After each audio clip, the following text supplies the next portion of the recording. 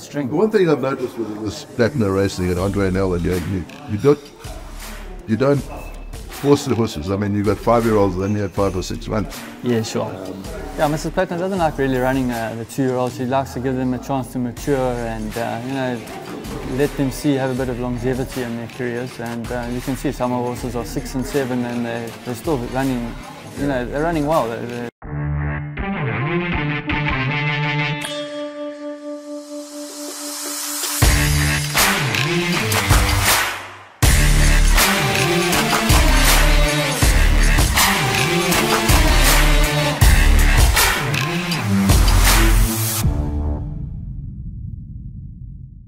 we're back at our favourite venue, which is uh, the Summerveld Clubhouse at Summerveld Training Centre, where we've urged you, the public and the punter and the racing enthusiast, to come up with your family and enjoy this fabulous venue. And uh, it's going to start getting cold soon because we're, uh, well, personally, thankfully, heading into winter. I don't do well in the heat. And uh, come up to Summerveld uh, uh, Training Centre and enjoy a lovely morning here with the horses. But it gives me great pleasure, always guests first, to talk to a gentleman of the game. And uh, he may not like compliments. And you're always deemed to be blowing smoke up people's um, Foundation. foundations when uh, you give compliments, but uh, it's almost like compliments and being nice are not the right thing to do. But he is a gentleman of the turf, he's a gentleman of the game, and he's a true friend of racing. So our guest today is Byron Forster, who is the assistant trainer to the Andre Nel team here in KwaZulu Natal, and we're looking forward to our next half an hour. Byron, how are you? Thanks, Ryan. Thanks for having me. Thanks for those kind words. Absolute pleasure. Andrew, Absolute thanks pleasure. for having me. Nice blowing smoke. Then. Yeah, I know, and uh, if, I think if everybody in the world blew a bit more smoke, it would be a happier see a bloke place. was blowing smoke up my bottom for the. Were they? The Were- last, Good. that last. The last podcast. I was worried about my haircut. Oh no, that wasn't blowing smoke. That was just yeah, he was just being facetious. Um, but uh, I'm sure they've removed those comments because we don't tolerate comments like that. Um, because um, as I said, if we could all be nicer, the world would be a far better place. Now, Byron's with us, and um, yeah, just to learn about him and a few things. Uh, let's talk about. But before we talk about, you saying go, going back to the going back to the old to the uh, previous podcast. Good, I'm glad that you got a compliment, or, or, because you deserve it. You deserve it. You served the industry for 40 odd years, and uh, we we like it. Time I retired, yeah. No, no, no, we don't want that. But let's go to Byron and talk about. Uh, I want to start differently. I want to find out about your family. I always ask everybody about how they got into racing, but family is also hugely important. You're a young family. Talk to us about your, your wife and kids and how many of them. And Um, yeah, I'm married to Kelly. Uh, we've been married now 14 years, and uh, we've got two sons, a 12-year-old and an 8-year-old. Yeah, they keep us active with all their extramurals these days and getting them off to their games and that. Yeah, so very active family. We love going out, and whether it's sport or, or running or cycling. Or, do you get chance, Byron? Do you get chance to go to the sports games? I mean, when you're busy schedule, do you able to able to get in there and watch and support as much as you can? Yeah, we try to get out there as much as, as we can and get on the side and, and give them the old cheer and that, um, like I say, with Sunday racing and, and it can jeopardize a few things, but uh, yeah, we try, like with my eldest son, we try to get out and do a cycle before racing on, on a Sunday and obviously time management is, is difficult, but uh, yeah, obviously thanks to my wife, she, she does a lot of the the errands and whether you know she's school early in the morning like every mom and uh, she's getting around and yeah so It's important for, for parents to be close to their kids when they're growing up. Yeah, definitely. I think uh, you blink and they're 18 and they're out of out of house, and uh, yeah, Yeah, and, and, and both you gentlemen say that. You know, you, you- you've obviously got kids of your own. I haven't got kids of my own. I, I have stepchildren, but you certainly make them your own.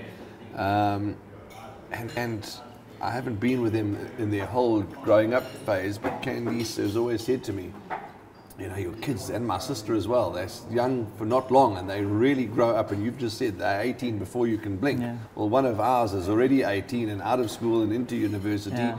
And uh, you look at the photos from just the other day and they were in school uniform. Yeah, so they certainly do grow up quickly, do the children. Now, you've got two sons who come to the races as often as they can.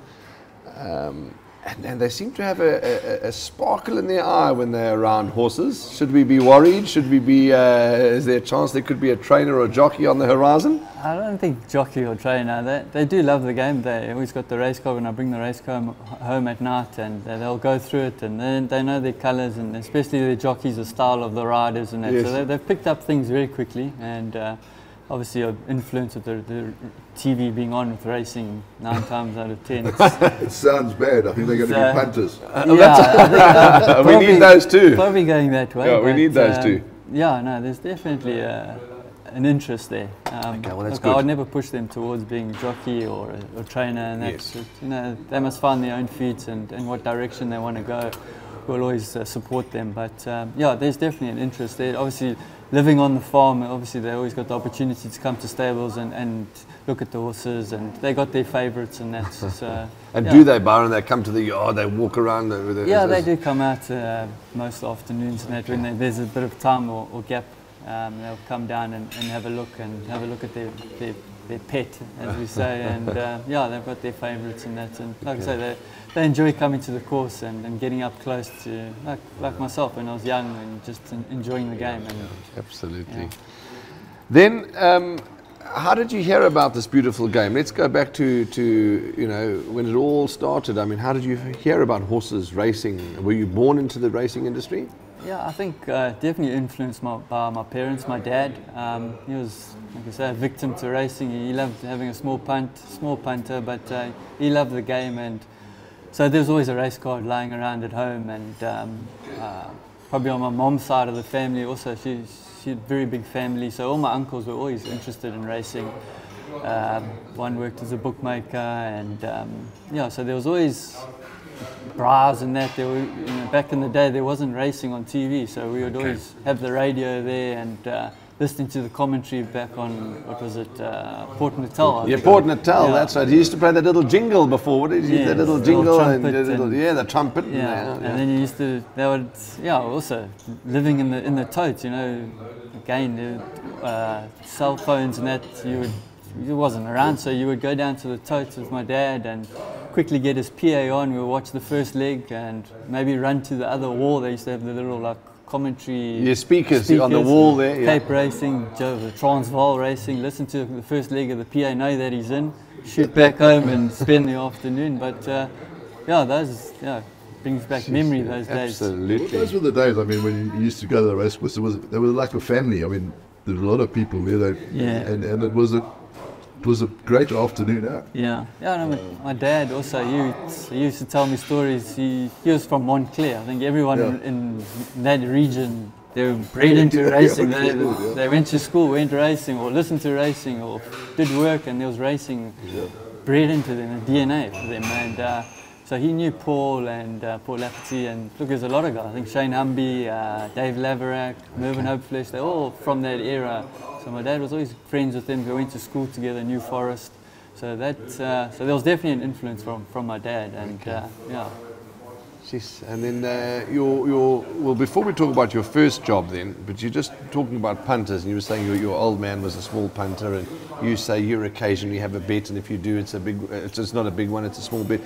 You know, you, you bump into people and, you, and you, you know, they'll say, well, you know, I'm a, that oak's a big punter or that lady's a small punter. I- I don't know why we have to justify whether you're a big punter or a small punter. You know, each person is to their own and it's also about what you can financially afford. Well, it's nice just to have an interest. In, Absolutely. I and, think and it's that enjoyment too, you know, or Yeah, excitement. uh, Having a, absolutely. you know, even if he had six rand and, and, and that was one, you can see he's got the biggest thrill as the guy that's had a thousand rand on a horse. Absolutely. That's- sense of achievement. That Yeah, you found yeah. out. Found find a the winner. winner, and, Yeah. and, yeah, and you say, well, I've turned my six Yeah. rand into 26 rand or whatever it may be. I've turned my, and, and you know, also you hear people at the races, oh, there's money around for this horse. Who's backed it? You know, I mean, it's, it's an open betting market. It's, an, uh, it's like having a special on baked beans, and you, you know, you walk into the Spar and there's no more baked beans. Yeah, You know, they're on special. They've been sold. Yeah. The price was 10 to one. It's now two to one. It's been bought. The horse has Yeah. been backed. You know, it's, it's an open market. So yeah, punters, uh, whether you're a six rand punter, some betting platforms you can have one rand on a horse, uh, or you can have a million rand on a horse, and uh, all punters are, are, needed and respected. But going back to your first job, who was it with Paul Lafferty Racing? Yeah, Paul, Paul got, uh, well, my dad, he, was, play, he was uh, playing over 35 football at that stage and uh, he was obviously good mates with Laf and uh, he said to Laf, I was, uh, is there space, is there chance I can maybe uh, give me a chance and, and start off and um, yeah, so Laf said, I'll never forget, make sure he has wheels and you can, you can have the job and start and uh, yeah, so managed to quickly, came out of school, got my license and then uh, ended up with Laf. This was a month trial and see I enjoyed it and I thoroughly enjoyed it. You know, from being the outside, you know, back in the day, growing up, we weren't allowed on the course as a teenager. Or I think maybe about 13 or 12 we were allowed to go onto the course. So those first 12 years, my dad would always take us racing. We'd have to watch from the infield, or he would run in and take his bets. But infield, we, we used to watch the races. So, you know, it was, it was difficult. But now, suddenly coming to track in the morning, and uh, you, you, know, you, yeah, you're seeing these guys from the other side of the fence. Uh, those days, Jeff Lloyd and Robbie Fradd and all these good riders were here. And now suddenly you're working with them. So it was quite an excitement and like Yes.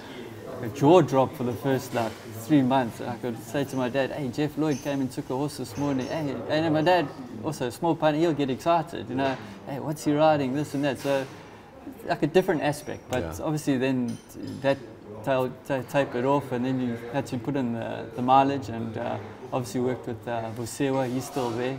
And uh, he had, um, I think it was Lucy back in the day, so I worked with her and uh, learnt the ropes through them. And uh, yeah, so you know, obviously very grateful that LAF gave me the opportunity to start because I think it's probably 20, 25 years ago, it was probably difficult to get into the game. Yes. This day with social But media. it's actually quite interesting for Bara that you, you went straight from, from school into into training. Most people get- start off with the bank or Yeah. to a turner. Or So you didn't go and do like me. I mean, I never went to university at all. So you went straight from school into into work. Yeah, Yeah, look, I was playing uh, good level cricket and uh, just things weren't going at that stage in the country and that. So I ended up veering off and, and taking a chance at uh, racing. That was my second biggest thing in, in my life at that stage. So yeah, my, my mom had tried to organize me a few uh, bookkeep, oh, not bookkeeping, but just uh, filing jobs at, at work.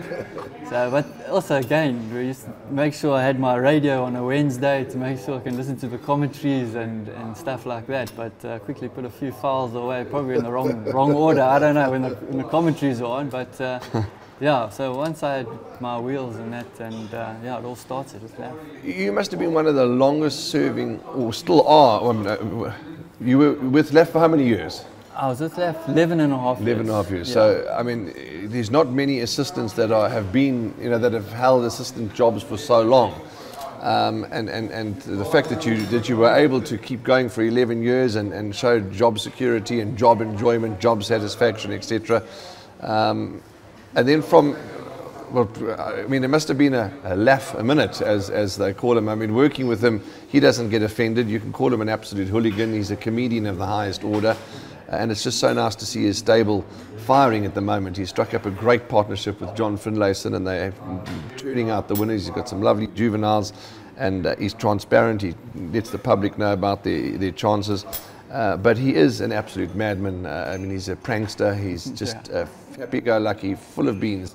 I mean, that, that man, he must have caught you on a few occasions, I'm sure. Oh yeah, you, you don't want Laf. Laf never makes tea, but if he makes you tea, you got to make sure that there's no salt or something poured into that cup because there would always be a joke or a prank. And uh, yes. yeah, no, uh, like you say, Laf's. There was obviously times when work time and then Absolutely. in, uh, enjoyment time. But when the owners were there and there would always be the bra and, and his, at his bar there and his functions and that, you know, they, they did enjoy their, their parties and that. But uh, like I say, work and, and enjoyment time, there was definitely a clear line. But uh, yeah, no, it was it was great. Obviously, like I say, the opportunity he gave me was I can only be thankful for. I spent 18 months in the army with Laf.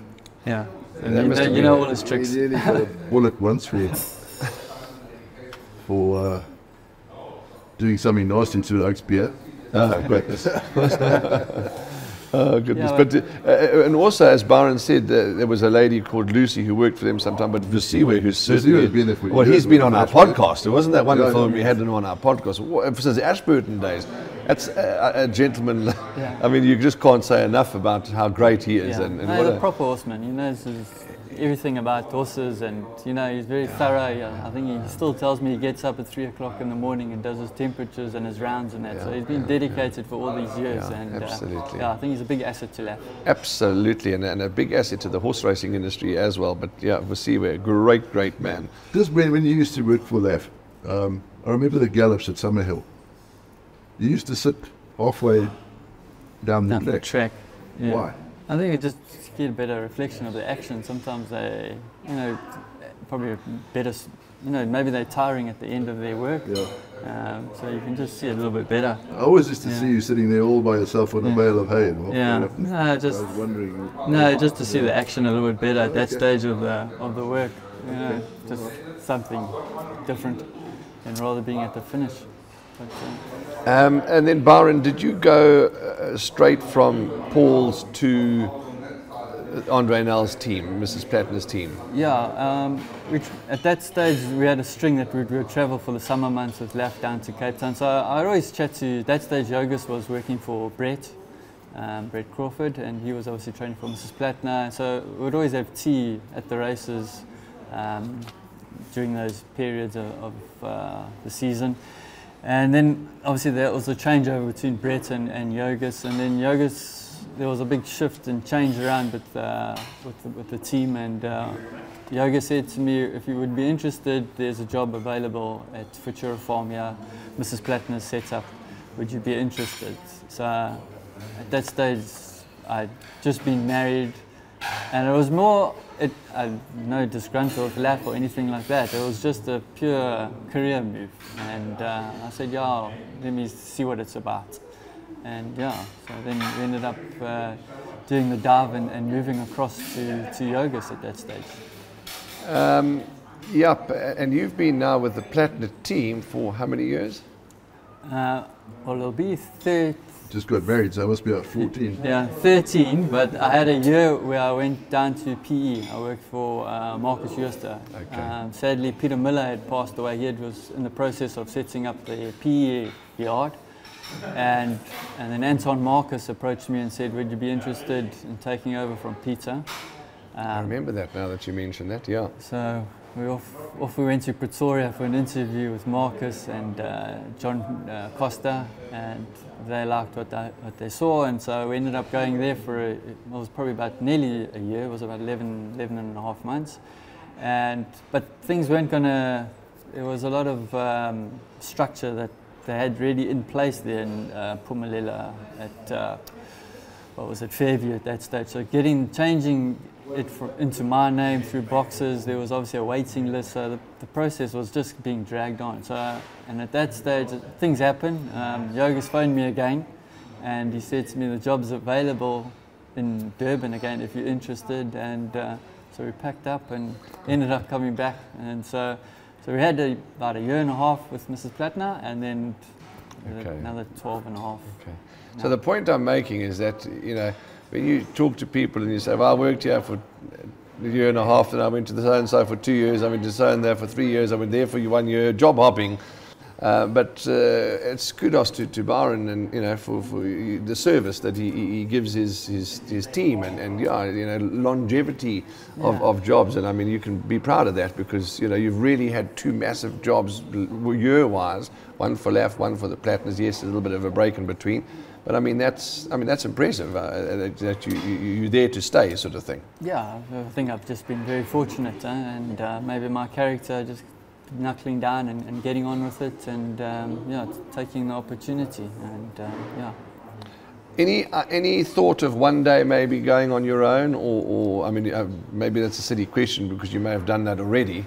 Um, but yeah, yeah well, t- talk to us about that. Yeah, I think when you get into the game and you start as an assistant, you always have the aspirations to be a trainer. I think uh, currently you probably have to be pretty brave to, to go out there on your own now, the way the, the financial situation is, and obviously there's things happening in the game that you probably want to just take your, your foot off the pedal and just have a look at things. And but yeah, I think down the line, uh, if there's if there's opportunity arises, It, it, you got to take I, I remember um, Craig Udy, I mean, he worked for Alistair Gordon for over 20 years, and I said to him, why don't you go on your own? He said, rather, rather let the boss have a worry about finances and Yeah, yeah staff and all that. He said, I'm, I'm quite happy where I am. I think people forget about all the little stresses that are. Yeah. That you just see it at, at the race course, but that trainer's got to field uh, obviously a lot of questions after when horses don't perform, and you know then you've got your feed companies and everything else added on, and yeah, so it is it is a stressful game, and uh, like I say, if there was an abundance of owners out there, I, I think uh, it'll probably be easier for people putting their hand up and saying, yeah, I'm going to have a go at this and, and go out there and train, but. Uh, I think at the moment you've got to be realistic and, and look at how things are and let it just play out a little bit before rushing into it. What is, uh, you know, I'm sure with, with having the two yards, one in the Cape, one in KZN, there's still obviously policies, procedures uh, that need to be followed. I mean, it's a business. Uh, yes, uh, you know, these big owners do it for the enjoyment or whatever the case may be, but you've still got to balance your books, run your accounts, etc., etc. So that falls under you as well. You'd probably work with a central accountant or a central, you know, team or whatever it is. But I mean, you, you, you, have got to get involved in that. You've got policies, Yeah. procedures to Yeah, follow sure. to run the business. Yeah, 100%. Um, like I say, we can't go splashing out on everything. And um, yeah, we've got our structure. Obviously, Mrs. Plattner has her structure, how she likes it being done. And uh, obviously, I communicate with uh, Andre about obviously horses and, and things that maybe needed for the farm. And uh, yeah, everything is structured. eh? It's very well r- run and uh, very professional. Lauren, how do you how do you share out your horses? I mean, Andre obviously got to say what he sends to you. Um, is it because it's weaker here, or because you got the poly track, which Yeah, I think like? polytrack has been a big influence. Big Obviously, influence. he can he starts starts him off, uh, and you can see maybe that also with, with the action that might suit the poly, or horses that obviously are struggling a bit that maybe in in their place a little bit. Um, uh, also, the weather in Cape Town in the winter, obviously, maybe horses won't react uh, or act on the, on the softer Soft, ground. So there's the option of the poly, and uh, yeah, and obviously season horses. Horses, if, if there is horses that has the ability to compete in some of the features, they'll come up. So we like you say, it depends. We, we, we have a float. We might come up with a full float. You might come up with three or four. It just really depends on, on our string and uh, the depth of the string. The one thing I've noticed with it was Plattner Racing and Andre and you, you, you don't you don't force the horses. I mean, you've got five-year-olds and then you have five or six months. Yeah, sure. yeah, Mrs. Plattner doesn't like really running uh, the two-year-olds. She likes to give them a chance to mature and uh, you know let them see have a bit of longevity in their careers. And uh, you can see some of our horses are six and seven, and they they're still running. You know, they're running well. They're, they're, they're That's the consistent. pleasure types. when there's no pressure like that. Yeah, no, was a big help. I think uh, you know some guys want success very quickly, and uh, but Mrs. Plattner obviously she, she she wants to see that longevity in horses, and Where did she come from in racing? I mean, it's, it's very I think at first often that a, that a big owner is, is, is so Yes. sort of forgiving and things like that. They, I think her and her husband, I stand to be corrected, but I think her and her husband came out early in the 90s, and uh, I think she started with Eric Sands, and then from Eric she moved across to, to Chris Snaith, and had obviously uh, some good horses. Um, what was her name? That uh, Shepherd's Moon. Yeah, uh, Right, that's yeah, yeah, Shepherd's they- Moon, yeah, yeah. I think that was- too, yeah, they Yeah, I think that put her on the map, and then it just snowballed from there. And then obviously she's gone through her, her trainers along the way. But um, yeah, she, I thought she had a good grounding in the game. yeah, Yeah. it helped. And also too, yes, Andre and, and her trainers that have trained 98% of her string. She's always still had a, a horse with Justin Snaith or a horse here and one or two in PE, and which is good that she, you know, she's Yeah. yes, she's got her main trainer, but she's not opposed to having one with Yeah. somebody else or to race with a friend Yeah, I or. think uh, Mr. Plattner and uh, Tina, her daughter, had a good relationship with Chris and, and the Snaith family, so they've always had their, a few, one or two horses Yes, with them. yes. Yeah, so that's how it's worked But where out. is the stud? Up there, yeah. Uh, we had George. George. Yeah. Yeah. Yeah. John Mantell used to run it. I'm Yeah, Uh, yeah. but hang on, get me. Oh, the stud, the, the, stud. La Plaisance. Now you see, clever question. I've learned something. Are you saying the stud La Plaisance Yeah, is we a got George? the stud and George, Yeah. and then our racing facilities up the west coast. No, can you believe it? Uh, I mean, it just shows you, eh? You So learn you every had few, how Come on, I don't be nasty, man. I mean, um, it's, it's a bit slow, but uh, The young man told us, I mean, he set up this. I thought the tra- the training establishment and the stud farm were in the same place up the west coast, No, two miles separate- apart, yeah, two two separate entities. Jeez, okay, I didn't, okay, I didn't realize. And is it just because it worked out that way, or is the training establishment not uh, big enough, or did she want them separate? Or? I don't know how the correct order went, but I presume that the, the training facilities and then it went over across to the. I think the stud started first. Eh? Sure, okay. Yeah, Those horses went to Snaith and all those people, and then she started that place as a That's really yeah, interesting. question over. So the stud, the studs in George. Okay, that's interesting because Fancourts obviously. the- yeah, that's just down the road. down the- yes. so yeah, that's- that's, her facility. that's her facility. Yeah, facility, fan yeah, court. fan Yeah, court, yeah. absolutely. What? I've never been. Have you been? I'm sure you must yeah, have. we've uh, had yeah. a few meetings there, yes. Beautiful, yeah. A bit of Golof. Unfortunately, not. But talking about, I'm glad you mentioned the, the, the, the, West Coast and, and, and the training establishment because on, on a recent holiday, and I, I fully respect and fully understand, it's a business, a tightly run business. And I phoned um, um, Callum Dixon, um, and we'll talk about the team in a moment. And, and I said, we're sort of just about to pass by. It was a bit late and, and things hadn't gone according to plan during the day. And he said, we'd love to have you at the farm and, and love to show you around, but unfortunately it is after hours and, and there's, you know, which I, you respect and you understand. But it was, I was so close, because we, eventually we drove past the entrance. I was so close, but yet so far. But I've seen Google videos, etc. Byron, uh, we, there there are places around South Africa that are really top-notch establishments. Uh, but it's Plattner Racing's time to shine. It's their podcast. That training centre, whew, it's, it's, I think it's, it's one, it must be one of the leading ones uh, in the country or if not the world because it's unbelievable. Yeah, I think uh, Andre's very blessed. He's got everything on his doorstep. He's got the ocean on the one side. He's got his training tracks. He's got his walkers. So beautiful, you know, out and uh, away from the city and city life and that. So, so the horses have got a great environment to thrive on, and um, yeah, it's beautiful, beautiful setup. Because you've also got the natural sand to uh, the Yeah. gallops. Yeah. Yeah, And the facility here, I mean, I know you use Summerveld uh, Training Centre, but your facility, facility here too is not as great as the one on the West Coast, Yeah. but it's still magnificent. Yeah, we've yeah, obviously paddock paddock time for the horses is a, a big help. Uh, we've got lots of paddocks, um, Swimming swimming pool. pool, uh, the treadmill, and that. So yeah, it's, it's obviously very th- grateful to Ms. Plattner for giving us those those or those things to, to use and utilize, and uh, yeah, it's, it's very beneficial for the horses. Now, you also talk about, we mentioned earlier on about different punters and different human beings and you know, owners and, and Mrs. Plattner's, her stance and approach towards owning horses is different to maybe, you know, you may say, well, I, I want a quick return, I want a, a two-year-old to come early and, you know, I might say, well, I'm not so fussed. You know, everyone's different, everyone's situation is different and, you know, we don't, we, we're not saying that an owner that wants a horse to come quickly to get a quick return is wrong. That's just the way he likes to do things. And as you say, Mrs. Plattner's give the horse the time it needs, and Yeah. you know, you know it, it's it's it's everyone's different, and, and every horse is different too. Talking about the two uh, centres uh, where you operate from, the team, you guys have got a, phenomenal team. I, I know in Durban here, Raheel, our colleague, who is a wonderful youngster who continues to learn and thrive in the industry, uh, is very fond of Byron and and uh, and Colin. He speaks very highly of you both, and it's normal because you know you warm to certain people, you get on with certain people. Yeah, because you're nice to him, that's why. Absolutely, um, niceness breeds niceness. You're quite right, but he always talks highly of the Plattner team, and and he talks highly of of most teams, but.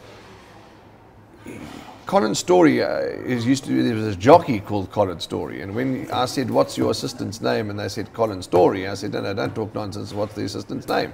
So he's got the same name as the jockey that was here in South Africa. Really, I, I Didn't you know that? See, now you learned something I new learned today. something too. Yeah, yeah. Yeah, Put on a bit of Story. weight and grown a couple of inches.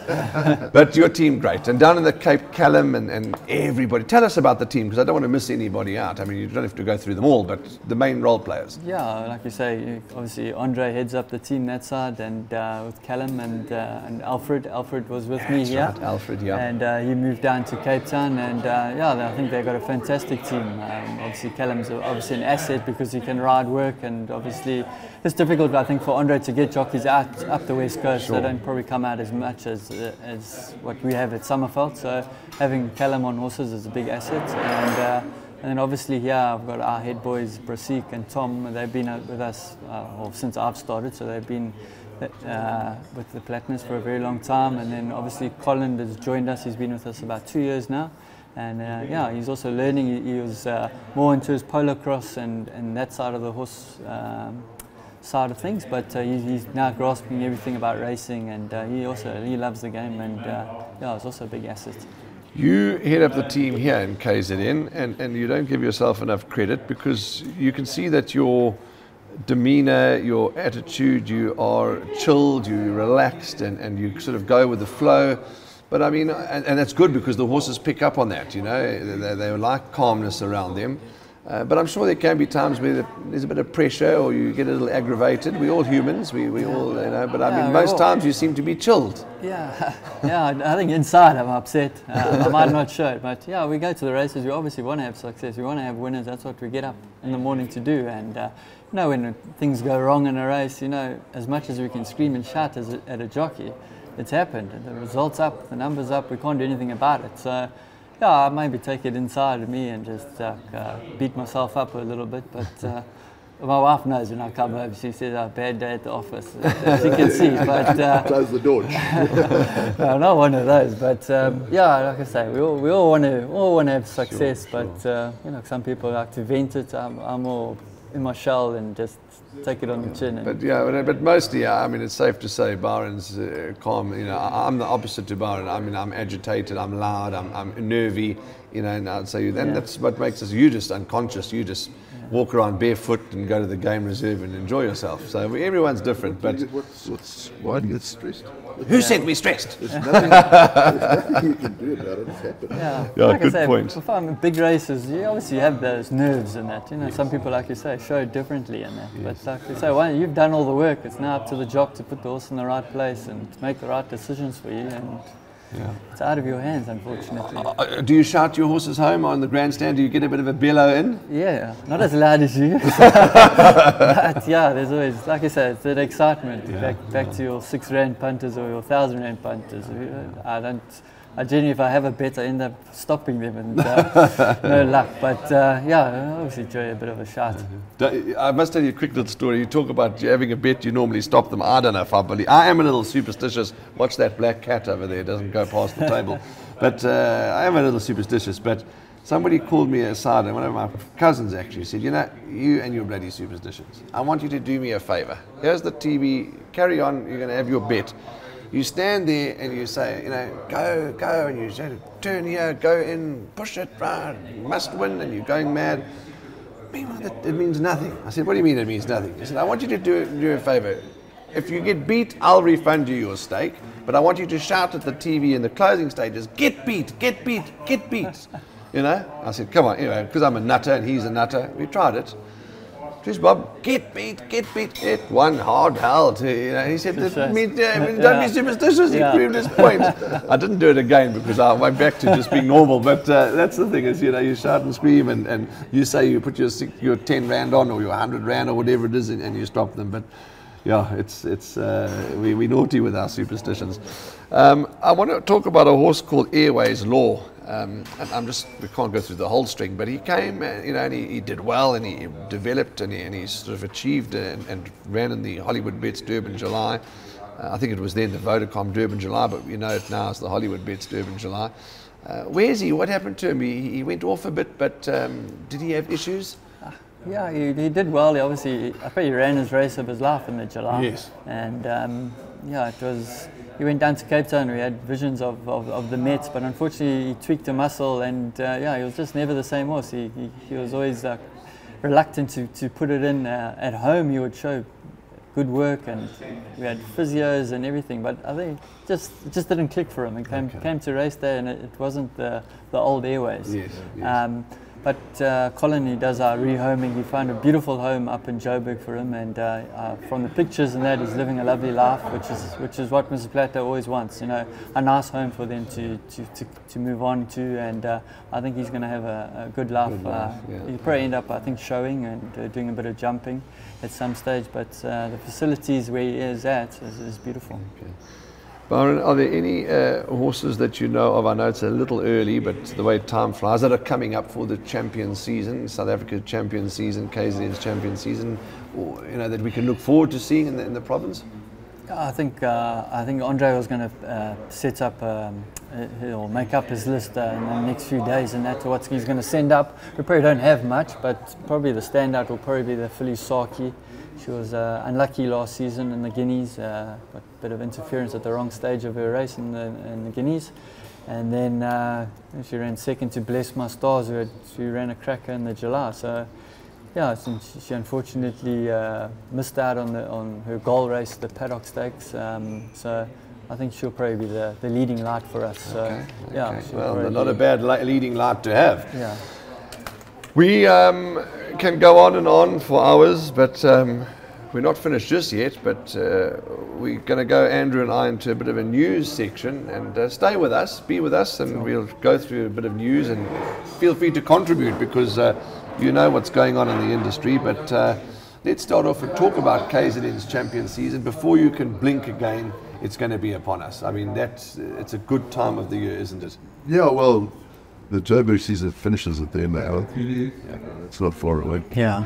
So, so, yeah, champion season on our doorstep. Talking about Joburg this past weekend, some phenomenal racing and some phenomenal achievements. Uh, Robin Klaasen, her first Group 1 winner. Um, Mark Khan, his first winner as a trainer. I mean, what a start for a trainer. I mean, Mark's a horseman of the highest order. First runner, I mean, you can't write scripts like yeah. that. Yeah, he's been associated with such good horses in his, in his career. You know, I saw, read the article, Yardom and uh, yeah, he's, yeah, he rode some top horses. Top, top horses. So, yeah, he, he, knows his way around horses. So, yeah, I wish him luck and hopefully he has all the success. He's got the gift of the gab too, which helps. Yeah. yeah, you got to, as a trainer, you've got to be good at everything. You've got to be good at marketing. You know the story. So he was well dressed with a suit and everything. Yeah, absolutely, absolutely. so, so bag of fruit, yeah. So well done to, to Robin Klaasen, well done to Mark Khan uh, on his first win. How did Major Feta win? Yep, that, was uh, we're going to say that, that, you know, well done to the Peter team because they certainly had a fabulous day. You know, but talking about main defender, yeah, you know, and, and, and listening to the speech that you would have heard it to the post-race interview, and we all fall fall foul to it because we're quick to write people off, we're quick to write horses off, and we're quick to, you know, criticise. And Tony said, you know, what a wonderful ride on on main defender from Calvin Habib, which I agree, I thought it was phenomenal. Even if he'd run second, in my opinion, it still would have been wonderful. People say, oh, you said it was a wonderful ride because it won. Not, my, not, not, not through my eyes. Um, and he said in the speech, he said, everybody wanted to hang him and, and throw him out to the dogs, you know, and, and get yeah. rid of him and get him off the horse, etc. And he said, no, no, no. And then Calvin went on and said, you know, I had to redeem myself and it just ended so well. But yeah. yes, I thought he, he won yeah. ultra impressive. Yeah, very impressive. You know, that's, it's probably not a, a, a traditional three-year-old race, and no, uh, he went against some hard-knocking horses, and he yeah, won very impressively. Absolutely. Of course, Princess Color, she would, she's off to was Princess Keller off to the state? Yeah, there was an article on Sporting. But I mean, again, what are two, two, these? Are, you know, those yeah. are once in a lifetime horses. Yeah. Princess Keller, She's uh, trained Captain's on well. Ransom, and those. She has yeah. trained on well. Very well. Uh, Sean Tarry has a way of, of keeping horses on the boil. Yeah, yeah. She's a, a, lot of, a lot of, got a lot of older horses. And I think which many trainers and versatility. She's gone from six furlongs to yeah. I think she ran second in the Wellington as a, yeah. as a three-year-old. Yeah. So she's, but she's off. She's off overseas. Uh, the states. The, the, the, three that we know of: Princess Kala, uh, Isivungu Vungu, and uh, what's the third one? Make it snappy. Make it snappy. Make it snappy. And I believe there's there's a few others, and and, and Lance uh, from Sporting Post is going to release the list for the public to enjoy a bit later on. But I mean, that's a that's a wonderful achievement to do. And, and well, it's about the only way we can get out of the country. yeah. It's nice that the states have taken it for two months. Yeah. Uh, Hope it all works out. Mauritius and five months in UK, uh, yeah. really good buy, but then the horse is so flat it doesn't know where yeah. it is. Uh, Oh, let's hold thumbs for Hollywood and hopefully it comes off. Yeah, yeah. absolutely. And you know, as you quite rightly said, and it's a fair question, you know, w- the- if we're able to get horses over there, are are they going to be good enough? Well, the only way we're going to know is to race and, and find out. Yeah. Um, so, uh, yeah, some of them have gone over there and excelled. Some haven't. Uh, that's just the na- na- name of the game. But we wish everybody uh, with these travelling horses that have given us in South Africa more, you know, rejuvenation and more interest to follow internationally. So uh, let's hope that. I believe there was a bit of a problem on the aeroplane. They had to stop off in Bahamas or somewhere for the technical issue. Uh, yeah, I think, uh, yeah. So, so, but I believe they're well on their way and may have even arrived by now. Sorry, you were saying I interrupted you. No, nothing. I said, well, why we haven't exported through America before? I'm what not, if we do two months in, in the States, we can fly to Dubai? I'm not sure the whole protocol situation. I is- don't just know. seems to That's my move. mind Uh, now. Then Why spend all this time going with Yeah. races and all Yes. goalposts seem to move every year, Yeah, I month. think I think the Aussies have got a lot of not put your arms up for that. They like put the brakes in. They're going to steal their market. you know. But uh, because yeah, the South African, we'll, we'll talk just now about uh, the South African product. If, when you look at this catalogue, we'll talk about it just now. Um, you were mentioning that uh, Cheltenham starting, and, and Hollywood's got an interest there too. Yeah, Cheltenham, um, Hollywood, and, and and the kids with it's it's Barn. I don't know how to pronounce it. It's an Irish name. Ben- Barney, Ben- or- Ben- uh, Barney Stud or. Ben- Not Ben Marne or something like that. Okay, yeah. Anyway, uh, yeah, they're going to the favourite for novice hurdle or something. Okay. yeah. Then So that's uh, something to look forward to. The Cheltenham Festival Starts that's on Tuesday. Starts on Tuesday. Okay. Uh, I believe uh, that the uh, Hollywood Bets Durban July theme will be released, I think, on the 14th or 15th, mid of this month. And uh, I have absolutely no idea what the theme is because obviously everybody signs confidentiality clauses for obvious reasons. But uh, I do know that it's a wonderful theme. That's all I know. So um, we look forward to the release. Yeah. I say why I know that is because the person I was chatting to said, uh, "Oh, as we signed a confidentiality clause, you'll have to wait in line." Is that Ken? But what we can tell you is that it's a wonderful theme, and if uh, Hollywood and Gold Circle have got anything to do with it, no doubt it'll be a wonderful theme. Let's um, move on. Soccer. You, you watch a bit of soccer because Andrew and I always talk about soccer betting, punt on the If soccer. you work for that, you must have worked. Yeah, uh, but uh, we can never really advise the public on which teams to back. I mean, you're a soccer fan. soccer, Man United, but oof, let's talk I about called it them. right last week, didn't I? What happened? You, you I insulted said them. Manchester United are useless. yeah. yeah, they're struggling at the moment. City He kicked their backside. Yeah. That's what you. But This it's, was I a, think it's a big game this weekend. Uh, City, Liverpool. If, uh, yeah, be interesting there. um, there's also we're talking about podcasts. Um, I've also been watching because there's enough uh, cake for everybody. Um, Joe DeMarta from Glistian is also they do an electronic uh, podcast and uh, with Pierre Strydom, and that's also been some interesting. Uh, you know, Joe watches and enjoys our podcast, and, and so do we his. Um, and and uh, he had an interesting chat with uh, Barsi Filion, he had an interesting chat with Pierre Strydom, he had an interesting chat with uh, a whole host of people, you know, international people as well. And uh, that's a bit of news. Try and go on and watch that podcast too. Any information and, and show and, and talk show you can get about horse racing, the better. Um, so that's the soccer. Richard Fourie, you know, some may say, well, you're always beating on his drum, we're always talking about him. Willie's always in the winners' enclosure. I've seen some phenomenal rides. Uh, Stingray for Tini Prinsloo, for me, was one of his best. There was that lunar Halo, I think, that filly down in Oberka. How he got that up to win, I don't know. Um, I think, in fact, I want to have a bet. There must be betting out. I'm sure there is betting out of him to achieve Anthony Delpech his goal and exceed it. I think I'd like to have a bet. I think he will. I think I think they were averaging like 29 or 30 winners a month. They had to do to get that record Yes. up until last week or so. So he's probably on track. The amount of winners he's riding just in Durban and, and PE. And uh, If he starts, Uh, he is on track because on Turf Talk they run a they've got the Fourie barometer or something like that. Okay. So the barometer now has gone over three three six. Yes. I think two ahead of. Yeah, I think the only concern is with him riding so much, is he going to pick up a suspension and, and Yeah, how, how long is that suspension going to be? sure, so that sure. could curtail, Yeah, you good know, point, good 10 point. days, suddenly. That's yeah. It's important. maybe It could be- 25 winners, he loses Yeah. out. That's, you But you're also moving into the KZN Champions. Yeah, a lot of season, feature uh, a of races. feature races. And, So I- that and I'm telling you, I won't be But but he surprised. might, he might box clever and instead of riding, okay, if there's a dual meeting on, he might take the easier op- Okay, but he wants to ride group winners, I would, I would think, Yes, in that yes, position yes. and you want to ride group winners. But if you wanted to chase the championship, you could duck off to Joburg or something and Yeah, take yeah. all the plum rides in Joburg if, he Yeah, was, yeah, that's right, if yeah. wanted to do that. But if you want, I would say, No, I had to laugh at Anthony the other day, and when when Hollywood is giving him- Hollywood is uh, giving him all the rights All the to break his record. But I think you know when, the, when you're riding that well, I think the confidence, you know, you know, you're happy to get a, take a chance and get a horse into the right position, and your confidence is up. Whereas a guy that's maybe not getting as many chances, he maybe gets that one standout ride every two weeks. Yes. You know, he's a bit timid. With Yeah. Richard, you know, his confidence is sky high. He'll do the right, he makes the right call in the races now, and getting them in the right position. So, yeah, and you can say whether they're false favourites, I don't know, but uh, he's bringing them home.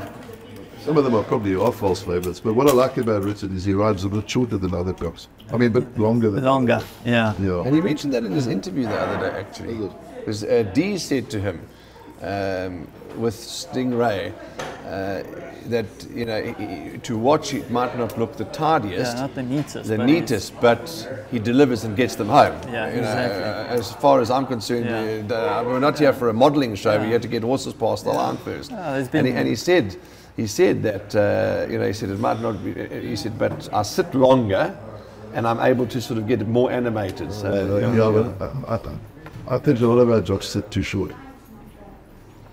That's my opinion. And have to take it up in the I'm a- I'm an academy. ex-champion jockey, so these things. Catch And jockey. I, I laughed uh, because I was thinking when he hit 199, and I know when Hollywood hits, you know, one before the big number, you sometimes get a bit stuck. Yeah. And as I was, I went on. To, I was at Greyville, but in my office, and then I walked off the race course after watching a horse run, and they were saying 199. And as I walked to, back to my office, I said to myself, "Please, don't let him get stuck on 199. because That's the last thing you need now. It's a bit of a lull, Yeah. a quiet patch. Yeah. You know, and, and two races later, bang, the 200, Yeah. 201. Yeah, he's got So, a lot of momentum with him at the moment. Yeah, so absolutely. I think so I'm, I'm glad his that he, agent, I think, is uh, smiling. yeah. Well, Ken Nicola, he couldn't have picked a better agent. Yeah. Uh, he he's Yeah, when, when Ken, when you see. Ken, when your phone's ringing, you see Ken, you know you got the, got the right horse. yes, you know, yeah, yeah, got the right horse, yeah, absolutely. But well done, uh, Richard Fourie, Dutchy, as he is affectionately known from me anyway. And uh, I rem- re- reminisced with him yesterday uh, when Gary Rich was uh, working at the South African Jockey Academy, and you'll even remember. Um, Tyron Langdon Hmm. was still, you know, sort of having his first 10 or 12 rides. Yeah. Sean Veale, Yeah. uh, Richard Fourie, and uh, we used to go, I used to go just to accompany them. They would travel to Bloemfontein and, you know, uh, um, go, um, um, Governor, the jockey, um, Leon. Leon Governor. Yeah. Those, that was the era, you know, that was the year. And there was Richard Fourie. And I said to him yesterday, I said, remember those Bloemfontein trips? He said, that's what's made us, you know, and, and, Yeah. and it's, it's so true. But well done, Richard. And, uh, and that's where he got his nickname, Dutchy Fourie. So well done to you, Richard. We're very proud of you. I talked about the sales. Oh, there's been sales already all over the place, but the catalogue, you know, you're getting old when you get excited when the next catalogue gets released. You know, you know, you're getting old when you, you lie in bed at night and you read the catalogue. I mean, but anyway, it is what it is. Here it is, the National Yearling Sale 2024. Um, the team will just zoom in so that you're able to have a look, and they're giving us the thumbs up. Many farms. I'm not going to name any farm because I don't want to be told I'm biased. But uh, have a look. There are some pedigrees in here. You're going to have to take uh, a big fat checkbook with you, and, and well done, fantastic to the breeders. So that's taking place on the 18th and 19th of April. Uh, it's a wonderful sale. There's uh, something there for everybody and, and meets everyone's budgets. Sad news, um, Byron. I don't know if you'd remember Tiki Carr. I mean, maybe you'd have read about him, and, and I don't know, maybe you came across him. But Tiki Carr uh, sadly passed away this past week, and, and he went downhill quite quickly. Yeah, I know. That's it's a sad thing. You know, the cancer's a bugger. Yeah, absolutely. And, and uh, I had the privilege of having him and his wife Carol at our home many years ago. And we'd had a lovely party, and, and there were other people there. But I said to you, I mean, I remember Tiki used to grab it, and he always used to change the stick up here. Yes. yeah, yeah, and and uh, great memories of him, and and uh, he we had, a party, and Tiki was the life and soul of the party. Next minute, uh, it went silent, and you know, ten minutes into the conversation, we said, "Where's Tiki?" And now Tiki was fast asleep on the couch, and just uh, just great fun and, and a great man. So to Tiki uh, and Car- to Tiki Carr's family and Carol and your family, uh, our thoughts and prayers are with you. Uh, nice to hear that Clyde Basil's operation uh, seems to have been successful. You know, this most previous operation. So uh, get well and and uh, get better quickly, Clyde. Uh, we're missing you, and then of course Jane Thomas, who we know is uh, doing all her treatments and things. We constantly think of you, Jane, and, and wish you um, wish you well. And we mustn't forget Tony Stiebel. Yeah, absolutely. Tony Stiebel passed away. Thank, thank you for reminding No, me. he was chairman of the Durban Turf Club. and One great, great black man. You always used to have the Tony Stiebel Golf Day after the July. I mean, that was, Okay. was a great, that was like a tradition. Yeah, yeah. He was the chairman when the Queen visited. That's right. Correct, yeah. So, And he was also instrumental with Dr. Nick Labuschagne putting up the lights. Okay, okay. So to the Stiebel family as well, but uh, yeah, just uh, to everybody that may be fighting uh, cancer or unwell or whatever you you know, uh, in the Box Seat podcast are, are, and the racing industry are behind you. To each and every one of you. Um, Mark, the horse that we didn't talk about, which I think was not, I think we all know was really wow, was Give Me Another. Yeah. That she's quite good. And, and as Mark de Kock said in his interview, the whole family, the grandmother, the, the mother, the, the, the daughter, I mean, what a family. And again, the unpredict, uh, teach me English, not unpredictableness. What's when you, when you can't predict the future? Unpredictably. Unpredictably. Standing at Maritzfontein Stud Farm, and there's a beautiful mare in, on the grass, and uh, the farm manager said, There's another Russia. That is this mare, isn't it? Give me another, another Russia. And beautiful foal, and tickling the foal, and this and that. And I said, Well, has the foal been given a name yet? No, no, it hasn't been given a name. I mean, newly born foal, Yeah. wobbly legs, because it's so newly born. And uh, there's Mother Russia uh, and the baby, you know, and then you fast forward. That Yeah. little foal is now unbeaten, Group One status, and looks to be a well, is a champion. I mean, just shows you how you never know what you've got. Yeah, So- she's very good. Yeah, I don't know very, if she's very going to go for the triple tiara. I read think- somewhere, Byron, I think she's not going for the Yeah. triple tiara, but I stand to be corrected. Yeah, yeah. Um, which it must have been a bit of a tough decision to make because obviously you want the group ones, Yeah. uh, but also it would have been nice for them because I think it was Summer Pudding that did the triple tiara. Yeah. Would have been nice to have had another horse to, to achieve the triple tiara. So it would have been tough She'll- decision. Nice she- problems to have. Yeah, she comes to Durban. Unfortunately, the Wellingtons are- will be against older horses, older fillies. So, yeah. well, she's got to. If she's going to go the July route, she's going to have to bump them at some Yes, stage. yeah. But uh, main defender showed that you can go against older horses. yeah, Yeah, hundred yeah, percent. absolutely. No, we're in for a Poof. And every single year, we just how blessed we are that they just keep coming over like a conveyor belt of good horses. That's how good our product is. That's how good our product is. Um, quick question to both of you because you've got more experience than me, um, especially you because you're older. Um, she seemed to have hit a flat spot in, in the race, and JP van der Merwe mentioned that, and he said in his interview, I may have panicked a little and gave her one or two and got her going, and I would also panic, uh, um, and so it's not a criticism. A horse that can go well, hit a flat spot, and quicken off a flat spot like that to, to win going away. I mean, it's got to be. I mean, that's got to be a sign of a. I mean, freak horses do that. Yeah. Because some horses hit a flat spot and go out the back door. Yeah, because I think uh, Gavin, I think was he on the stablemate. He was cruising. He looked like he had a lot of horse under him, and uh, she was a little bit, like you say, under pressure where she hit that flat spot, and then Gavin's horse seemed to fall out the race, and then she just felt like she was dropped in again at the 200. Yeah, Uh, so it's always a good sign of a horse with acceleration that Yes, can yes. turn it on like that. That's, that's always helpful. That could sort of get themselves out of that Out of trouble. trouble. Yeah, Yeah, absolutely. 100%. well done to Mike de Kock, Jessica Gell, Stephen Gell, Mary Slack, and everybody related to uh, Gimme Another, Wilgerbosdrift, Maritz Fontaine. Hugely proud. Uh, One World firing up uh, as uh, in the sires ranks, and uh, all these other new sires that are, are doing so well. But in particular, uh, One World. Well done to everyone related to One World. Your surname is it Foster? F O S T E R or V O S? F, Neither. F, and with an R.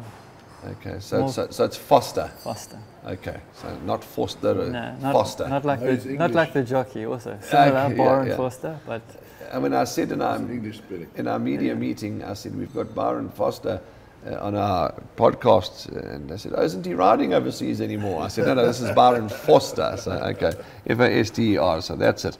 Um, talking about uh, passing away, which is not a, a nice subject, I just want to make reference to um, something that was a wonderful story, and I'll share it very quickly. There was a horse that won at uh, Turffontein. We spoke about Saturday's racing, called Judgment Day, that was uh, owned by the People's Syndicate, which I am part of.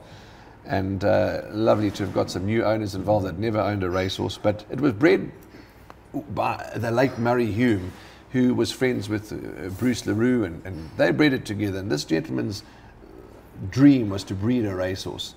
And uh, he had one mare, K stated, and, and this grey horse that won was his very first horse that he ever bred. And uh, I didn't realize, you know, because that's quite a touching story. He passed away a couple of, um, a month or so ago, so he sadly uh, missed watching his first horse win. Um, and uh, I just said to Bruce, we would make mention of that because it was omitted from the interview. Um, and and it was because of Murray Hume and his love for the horse that uh, Judgment Day. So I'm sure he would have been watching from up above. And syndication proves time and time again it's the way to go. Um, where's the menu? Where's the menu gone? For the uh, clubhouse, we only got two more points and we're wrapping up. Here's the menu. We've got uh, beef macon.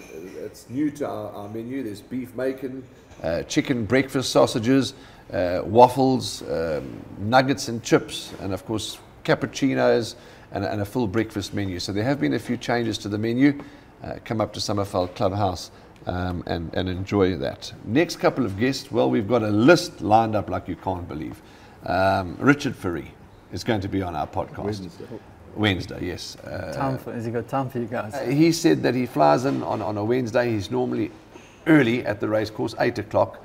Uh, he said we'll do it next Wednesday, before, long before racing. So we look forward to that. Nikki Munshi up in Joburg, uh, he'll want to be on our podcast. Bill Lambert, we're trying to get on. So we've got a long list of, uh, of very exciting guests. Not that Byron wasn't exciting, uh, he's just part of the exciting list himself. Um, and that's the wrap for us. Um, all we've got to do is say thank you to Byron for his time and, and uh, yeah, to, to you and the whole Plattner team.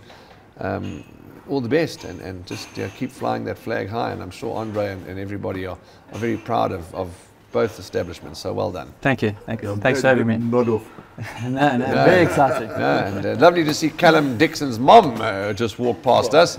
We were talking about your son on the podcast, but we were only speaking good things. so that's a wrap then from all of us. Plenty of racing action coming at you as always. And uh, I think it's a double header Saturday, double header at Cape Town and Joburg, and then we're at Hollywood Bets Greyville. I was dying to ask you about your runners, but you don't have runners. Day off. Day off. Nothing wrong with that. Everybody deserves a day off. From Andrew Harrison, the whole team behind the scenes, and of course Byron Forster representing uh, Sabine Plattner's racing establishment.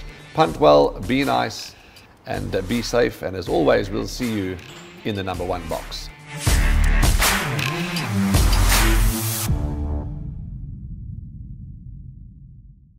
Remember to subscribe, like, and follow us on the Gallop TV YouTube channel. If you missed last week's episode of In the Box Seat, click right here and you'll be able to watch it at your leisure.